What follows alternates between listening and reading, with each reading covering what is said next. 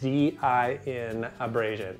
So this is a test that shoe manufacturers have done where they apply the sole of the rubber to a uh, sheet of sandpaper-like material mounted to a spinning disc or a spinning drum and they test how much it wears on the rubber. Well, I don't have the numbers of the DIN abrasion of the La Sportivas, the Nortiv8 is significantly impressive compared to other boots in the more top tier market. The Nortiv8 test comes in at 88 millimeters. When you compare those to other higher end hiking boots such as Merrell or Columbia, those tests come in anywhere between the 120 to 160 range. For some of those, the La Sportivas abrasion tests are coming in at uh, twice as good as some of the competitors.